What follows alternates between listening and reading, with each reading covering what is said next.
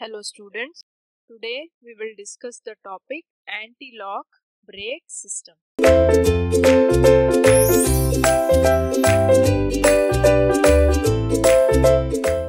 So this type of brake system also known as ABS. So this type of brakes are called as anti-skid brake system because of these brakes reduces the risk of tire skidding under heavy load condition and also allows the driver to maintain steering control of the vehicle. So these are also called as anti-skid brake system. Why? Because they reduce the risk of tire skidding under heavy load condition and also allows the driver to maintain the steering control of the vehicle. So they will not allow the tires to skid away under heavy load condition and also they will give better control of steering to the driver of the vehicle. Risk of tire skidding under heavy load conditions and allows driver to maintain steering control of the vehicle. So we can say that this anti-lock brake system operates under heavy load braking or on slipping surface conditions. So they work on, they operate when anti-skid or anti-lock brake system operates under heavy load braking that is when the vehicle is carrying a heavy load and brake is applied or on skidding or slipping surface condition. So how do they work? So this anti-brake system that is ABS will calculate the required slip rate of the wheels accurately based on the vehicle speed and the speed of the wheels and then controls the brake fluid pressure to achieve the target slip rate. So first of all what does this ABS do is it will calculate the required slip rate of the vehicle. For example, if the slip rate is some 2 degrees. Okay. This is the required slip rate. Then based on the speed of the vehicle and the speed of the wheel, if the slip rate of the vehicle is less, it will increase the slip rate by controlling the brake fluid pressure. Okay. If the slip rate is more, then it will decrease the slip rate by controlling the brake fluid pressure and it will achieve the target slip rate. Okay. So first of all, it will calculate the required slip rate of the vehicle of the vehicle wheels accurately. So first it will calculate let us consider it as for example it is 2. Then so how does it calculate based on the vehicle speed and the speed of the wheels. and then it will control the brake fluid pressure to achieve the target slip rate. So if the target slip rate is 5 then it will increase the brake fluid pressure and achieve this target slip rate. Okay. So although the anti-lock brake system prevents complete locking of the wheels in practice, it allows some wheel slip in order to attain the best possible braking. So anti-lock brake system prevents complete locking okay? It will not completely lock the wheels. Wheels in practice. But it allows some wheel slip. So some wheel slip is allowed in order to attain the best possible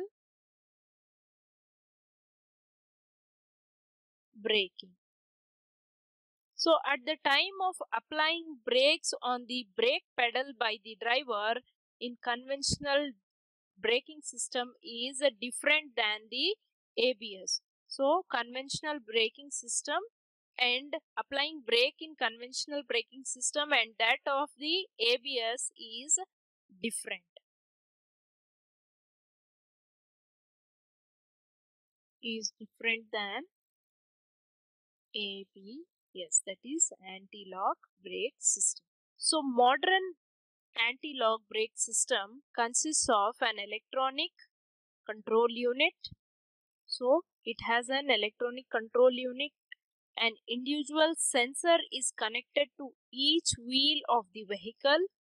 All the sensors are controlled by electronically driven hydraulic pump and an accumulator. So let us write the parts of ABS. So the main parts are it consists of an electronic control unit. Okay. Then there are sensors that is individual sensors for each wheel connected to each wheel of vehicle. Then then there are so sensors are controlled by electronically driven hydraulic pump. So hydraulic pump which is driven electronically and it controls the sensors. Okay. And then there is one more part that is the accumulator. So functions of accumulator is to start the hydraulic fluid to maintain high pressure in the braking system. So what does the accumulator do? It will start the hydraulic fluid. It starts the hydraulic fluid to maintain high pressure in the braking system. So an accumulator is charged with N2 gas that is nitrogen gas. It is charged with N2 that is nitrogen gas. So this electronic control unit which we have discussed here controls and monitors the anti-lock function as and when required. So what does this ECU do ECU that is electronic control unit. It controls and monitors the anti-lock function as and when required. So in some ABS, a lateral accelerator sensor is also provided to monitor the lateral movement of the vehicle while taking a turn. So here you can see a simple ABS system how it is provided with the different type of parts. So this is the front disc brakes. This is the metering valve. There is a proportionating valve here. Okay. Then there is a pressure differential valve in this place. This is the power brake unit. Okay. So these are the rear drum brakes. How the connection is made is seen here. Then brake warning light. So as I was saying, so in some ABS that is anti-lock brake system, a lateral accelerator sensor is provided to monitor. So what is the function of the sensor? It is they will sense and they will monitor the lateral side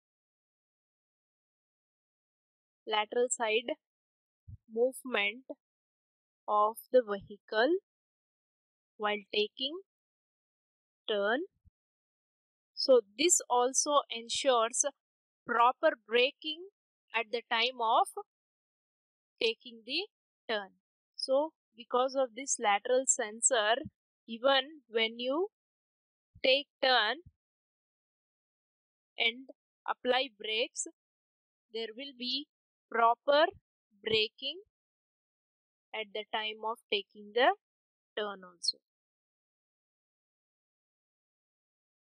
So electronically driven hydraulic pump is also called as hydraulic booster. It has four brake outlet lines connecting to each wheel. So the electronically driven hydraulic pump is called as the hydraulic booster. Electrically driven hydraulic pump is called as hydraulic booster. So it has four outlet brake lines connecting to each wheel. So you can see there are four brake lines, outlet brake lines which are connected to each wheel.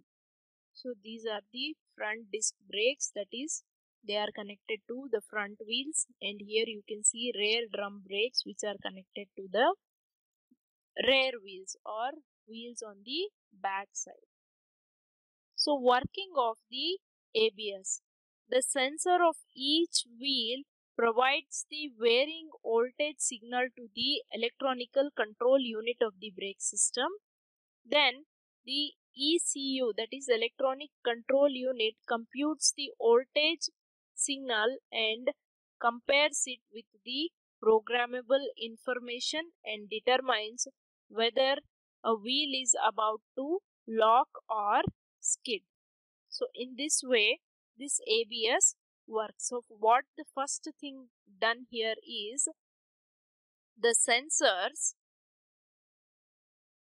of each wheel. So as I have already told you, each wheel consists of one sensor. So these sensors will provide the varying voltage. So all these sensors are electronically operated. They will send the varying voltage to voltage signal to the ECU that is electronic control unit of the brake system. So this ECU will then compute the that is it will calculate the ECU computes the received voltage signals and then compare it with the programming or programmed programmable information. That is it already has some information present. Okay. So it will compare it with that information whether the voltage is within range of this information or not. If the voltage is not within the range then what happens? It will then determine whether the wheel is about to skid or is it about to get locked and then it determines. So all the work is done with the help of this ECU unit itself. Whether a wheel is about to lock or skid. So this is the working of the anti-lock brake system. I hope you have understood the topic. Thank you.